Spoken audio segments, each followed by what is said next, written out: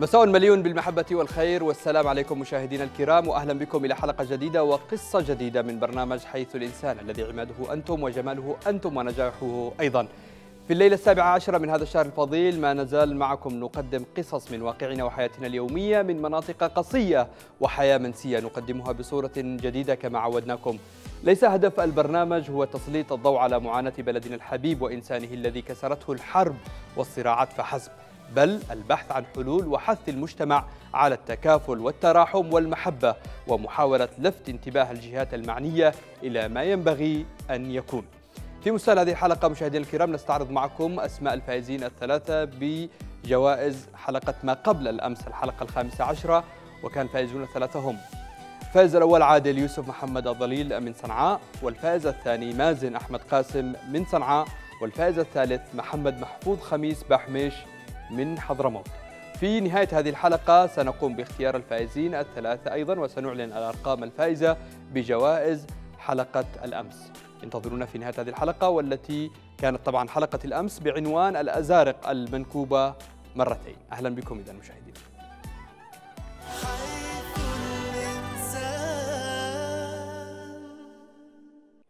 مشاهدينا إلى التعليم نعود من زاوية أخرى هذه المرة حيث الإنسان حضر في مدرسة أبو موسى الأشعري بمنطقة النشمة في المعافر تعالوا نشاهد ماذا قدم برنامج حيث الإنسان هناك.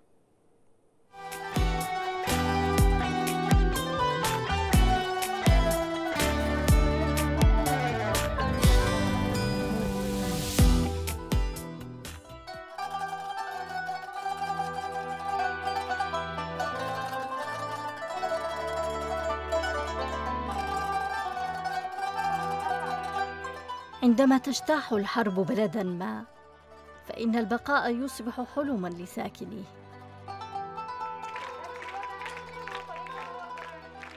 وعندما يتحقق نوع من الاستقرار فإن الخطوة الأولى نحو إعادة الاعتبار للحياة هي التعليم.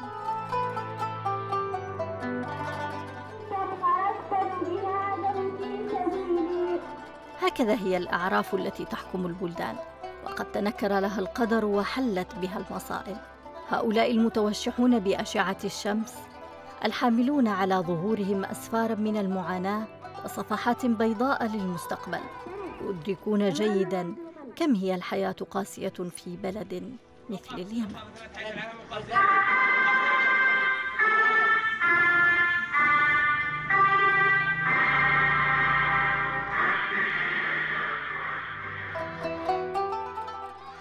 لكنهم يقفون منتصبين كحال بلادهم التي وإن بدت ممزقة لكن شعاع المستقبل الأجمل لا يزال يسطع في عيونهم.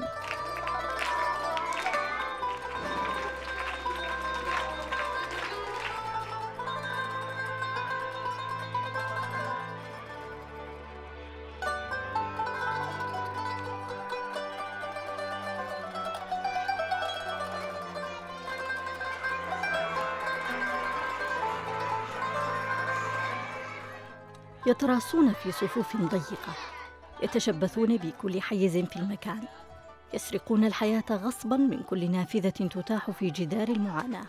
إنهم فتية لا يستسلمون أو ربما لا يأبهون. هكذا هو واقع التعليم في مدرسة أبي موسى الأشعري إحدى المدارس التابعة لمديرية المعافر بمحافظة تعز وتحديدا منطقة النشمة. بعض المعلومات أسوي بهم بعضها ما أقدر أسوي بهم الكتاب ضيق وهذا وما ما يقدر ما يعرف واحد يكتب ما يعرف واحد ما يكونوا كثير ما يقدرش يكتب واحد قطر بزيادة أصلا فصول متضايقة ما استطعش ما استطعش الكتاب أبدا. متضايق بشكل كبير. بعض الأحيان أقدر أكتب بعض الأحيان ممكن لما أخرج الراحة أرجع أخذ من زميلاتي الدفتر وأكتب في البيت. لأن ازدحام ما نسكش نكتب في الطاولة. 500 طالب يتزاحمون على هذه الفصول الضيقة التي لا تحتوي على أي من مقومات التعليم سوى الاسم. واقفون وقاعدون وبعضهم يستند على الآخر. لهفة الإنصات تبرق من أعينهم لكل ما يقال لهم ويسمعونه.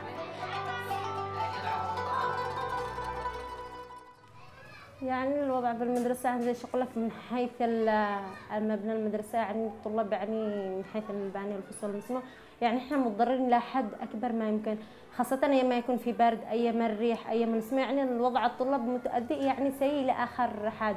يعني يكون نسبة استوعاب الطالب مش موجود يعني ما يقدرش يستوعب خاصة أيام الريح أيام البرد أيام المطر. يعني حالة الطلاب يعني بتدني بالصفوف. يعني يعني زي شغلك ما فيش يعني عندهن قدرة الاستيعاب المكان مش ملائم. الفصول كما ترى ثلاثة ثلاثة هي الفصول الرسمية التي بنيت من قبل الدولة اللي هي واسعة شوية. وفي كل فصل طبعا في معنا في البداية في الفصل الأول تقريبا ما يقارب 73 طالب وهكذا في الثاني 68 وغيره فالفصول بقية الفصول ضيقة ومزدحمة آه، ولكن أيضا آه، العدد في بعضها متواضع مثل كأربع أقل أقل فصل في 44 طالب أقل فصل والباقي من 60 من 65 من 70 من 71 73 وهذا ما نعاني طبعا ووضع الطلاب على الكراسي وعلى المسموح غير صحي أساسا. لكن هكذا حالتنا وهكذا ظروفنا نتمنى أن تتحسن الأمور في المستقبل وأن يحصل الطالب على مكان متميز يستطيع فيه يستطيع الطالب فيه أن يتقبل معلوماته من الحصص الدراسية وهو مرتاح وبجو صحي مريح. حتى بأجمل ما فيها. تبدو الحياة قاسية على هؤلاء الذين يسلمون أجسادهم لأشعة الشمس الحارقة وكأنهم ينفذون عقابا بحقهم بدلا من ملء كراسة الامتحان. فيبدو الأمر اختبارا في تحمل الألم بدلا من الحصاد الدراسي. هنا للتفوق معان أخرى. إنه انتصار على المعاناة وتغلب على دمار الحرب التي تستعر بالجوار وليس فقط نجاحا في الدراسة واجتياز المراحل. أمام معاناة هؤلاء الطلاب وعزمهم الكبير في مواصلة التعليم قرر فريق برنامج حيث الإنسان المساندة وتم الاتفاق على عمل توسعة للمدرسة وبناء فصول إضافية.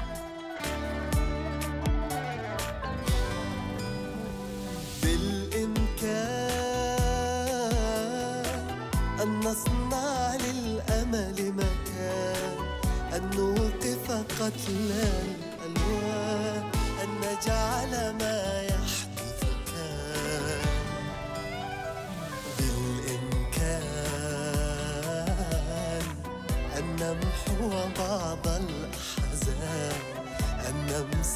دمعة حرمان أن ننقذ قدر الإمكان. قام الفريق بكل ما يلزم وبدأت الأيادي تناول بعضها ما تشيد به حلم الصغار. ترتفع الجدران ومعها يرتفع شيء من معاناة الطلاب. قطرة خير قد تحدث في العتمة نور أضيف للمدرسة ذات الفصول الثلاثة ثلاثة فصول إضافية وبذلك تحقق نوع من الانفراج وكسب الكل حيزا جديدا في المكان. وطبعا فرق كبير بين قبل ما تجيون وبعد ما تجيون وبعد أن حصلنا على الثلاثة الفصول. على الأقل وفرنا إدارة لأنه كنا مستعملين الإدارة فاصل وفرنا مستودع الكتب لأنه ما كناش نعرف أين نحصل الكتب. أيضا حصلنا على فصل بدل فصل ضيق ما كانش يسع للطلاب. وهذه انفراجة كبيرة والحمد لله رب العالمين. نشكر طبعا المتبرعين الذي ساهموا في الانفراج عن المدرسة. ونتمنى لهم التوفيق كما نتمنى لأهل الخير ومن عندهم استطاعة المزيد من الدعم للمدرسة احتوتهم الجدران لكنهم لا يزالون يفترشون الأرض التي لا سماء لها. سوى أحلامهم اليانعة. بإمكان هؤلاء الآن القول بأنهم ذاهبون أو عائدون من المدرسة بدلا من الثلاثة الفصول المركونة في الشعاب القافرة.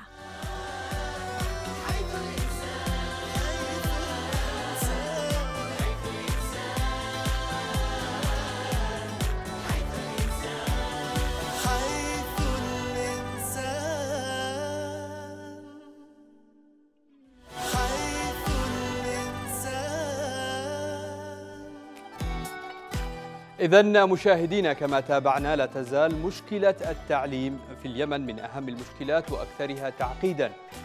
فمن مدرسة حريب التي يتلقى فيها التلاميذ تعليمهم تحت الشجر إلى مدرسة النهضة في تعز حين حول عادل الشريحي منزله إلى مدرسة حكومية ومدرسة ساكن طبيق في أبين والتي كانت توشك على الانهيار. هذه صورة تختزل واقع التعليم في اليمن اليوم. وجدنا في هذه المدرسة الفصول تكتظ بالطلاب وهي مشكلة تتسع بحجم اليمن. فأكثر من خمسة ملايين طالب في المرحلتين الأساسية والثانوية في اليمن يواجهون صعوبات في الاستيعاب في المدارس ويؤثر ذلك على التحضير العلمي ناهيك عن مشاكل أخرى ناتجة عن هذا الرقم الكبير. بالإضافة إلى زيادة عدد النازحين في النشمة وغيرها من المناطق التي حظيت بقدر من الأمان تشهد هذه المناطق ازدحاما شديدا في المدارس. وقد شكل ذلك كارثة تعليمية فاقت جميع المقاييس نتيجة توافد النازحين عليها وتجاوز قدرتها الاستيعابية. تقول بعض الإحصائيات أن عدد الطلاب في بعض الفصول يتراوح ما بين 80 إلى 100 طالب في الفصل الواحد وهو ما يفوق ثلاثة أضعاف مقاييس التعليم الطبيعية والتي تقدر ب 25 طالبا في كل فصل دراسي. كان حيث الإنسان هنا وقدم ما تيسر ووفر ثلاثة فصول نأمل أن تسهم في التخفيف في معالجة الازدحام.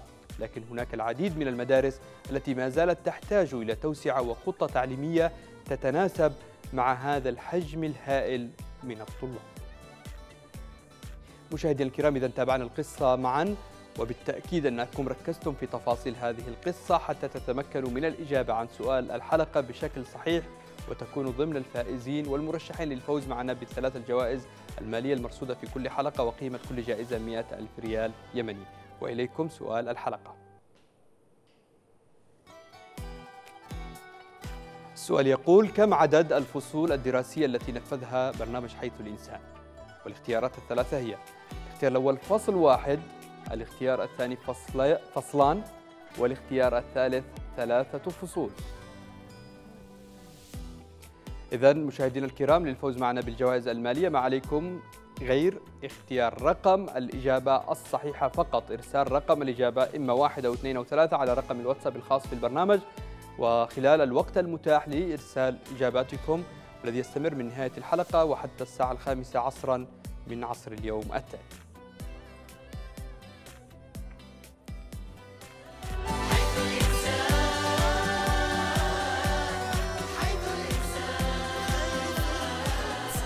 هذا البرنامج برعاية مؤسسة توكل كرمان.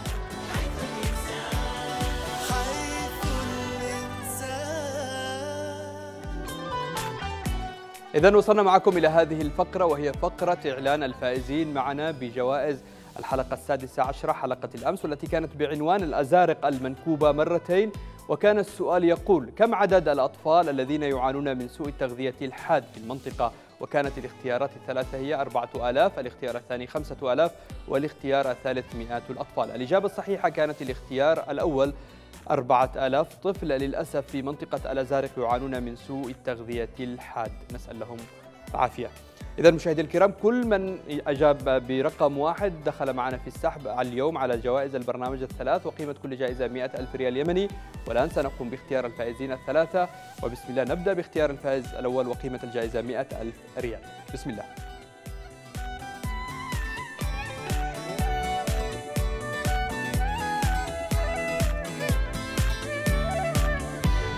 إذا مبروك للفائز صاحب الرقم 00967 3678 مبروك لصاحب الرقم الجائزة وقيمة الجائزة 100 ألف ريال يمني. إذا الآن نختار الفائز الثاني وأيضا قيمة الجائزة 100 ألف ريال والفائز الآن معنا. وممن أجابوا إجابة صحيحة واختار رقم واحد. عن سؤال الأمس. مبروك مبروك مبروك مبروك مبروك. لصاحب الرقم 00967 736 54 2193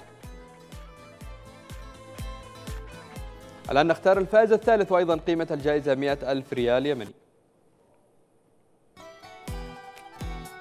ومبروك لصاحب الرقم بالتأكيد أنه رقم يمني لأن المسابقة مخصصة للأرقام اليمنية. 00967 771 871 027 إذا مبروك لصاحب الرقم الظاهر على الشاشة أيضا 100 ألف ريال يمني.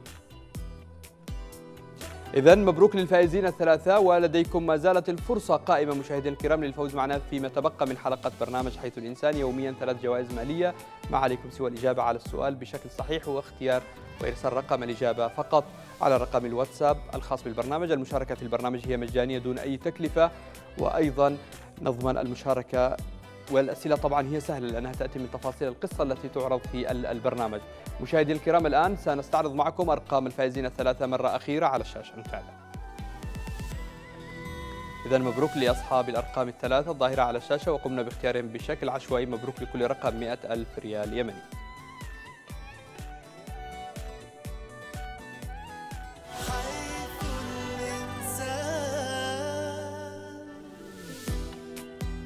إذا مبروك للفائزين الثلاثة وسنقوم عقب انتهاء هذه الحلقة كما هي العادة بالتواصل معهم للتعرف على تفاصيلهم من أي محافظات وأسمائهم حتى نتمكن من إرسال الجوائز المالية إليهم. ويتم إرسال هذه الجوائز المالية على أرقام الهواتف وأيضا بناء على البيانات الشخصية التي يقدموها وهي الأسماء بحسب ما هي في البطاقة الشخصية حتى لا يصادفوا أي مشكلة. ويتم إرسال واستلم هذه الحوالات في اليوم التالي إن شاء الله.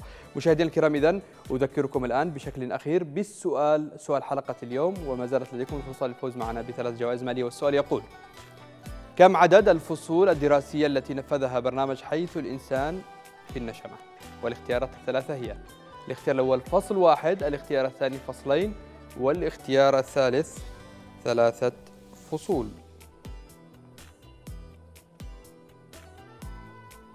إذا يبدو أن الإجابة على سؤال حلقة اليوم سهل وكانت مذكورة في الفيلم وأيضا ذكرت أنا في نهاية التعقيب بعد هذه القصة. مشاهدي الكرام أتمنى لكم حظ سعيد للفوز معنا بإحدى الجوائز المالية الثلاث ونلقاكم غدا وقصة جديدة من منطقة من مناطق اليمن. الحبيب نلقاكم غدا وحلقة جديدة في أمان الله.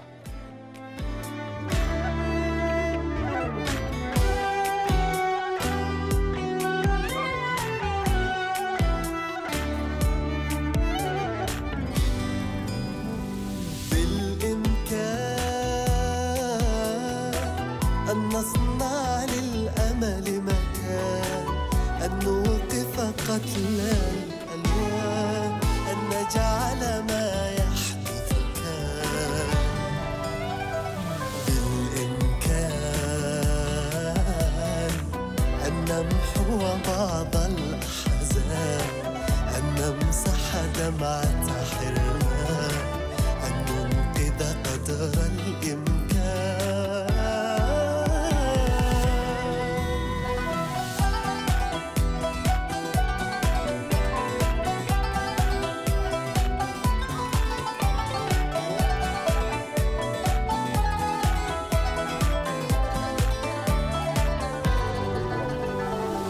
قطرة خير قد تحدث في العتمة نور. قد تجعل لليل ضمير. قد تبقي فينا